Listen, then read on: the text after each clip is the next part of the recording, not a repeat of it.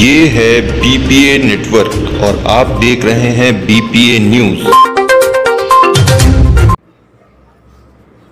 चौमेला में प्रजापिता ब्रह्म कुमारी ईश्वरीय विश्वविद्यालय की ओर से शनिवार को पुलिस जवानों को बांधी गई राखियाँ।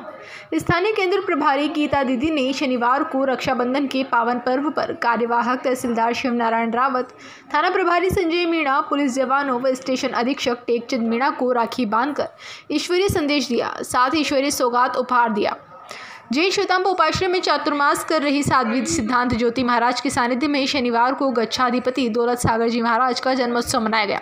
इस अवसर पर आयोजित धर्मसभा को संबोधित करते हुए साध्वी सिद्धांत ज्योति जी महाराज ने गच्छाधिपति के जीवन पर प्रकाश डाला। संयोग से यहाँ विराजित साध्वी अहद ज्योति जी महाराज का जन्म दिवस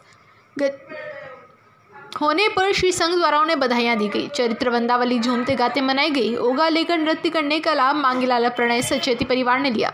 महाराष्ट्र की प्रेरणा से यहाँ नित्य बड़ी संख्या में धर्म ध्यान त्याग, तपस्या चल रही है तथा बड़ी संख्या में एकासना उपवास, अठम, तप, सिद्धि तप हो रहे हैं। शनिवार को प्रभावना अरविंद कुमार, विनोद कुमार, पोरवाल परिवार की ओर से वितरित की गई। इस अवसर पर श्री संघ अध्यक्ष के श्रीमल जैन, गौतम जैन अंसराज जैन, अशोक भंडारी, सुरेश जैन नीलप्लोधा महावीर जैन, पारस कटारिया, विनोद जैन, देवेंद्र जैन सहित समाज मौजूद रहे।